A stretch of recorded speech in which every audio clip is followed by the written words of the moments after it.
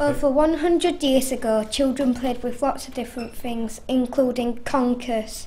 One game was called Stampsies. If someone's conker dropped off the string, you could stamp on it and squash it. Marbles have been popular for over 50 years. Children used to sit in a circle and try to knock each other's marbles out of the circle. Children like playing with natural things like stones and twigs in our school. We build nests with the grass.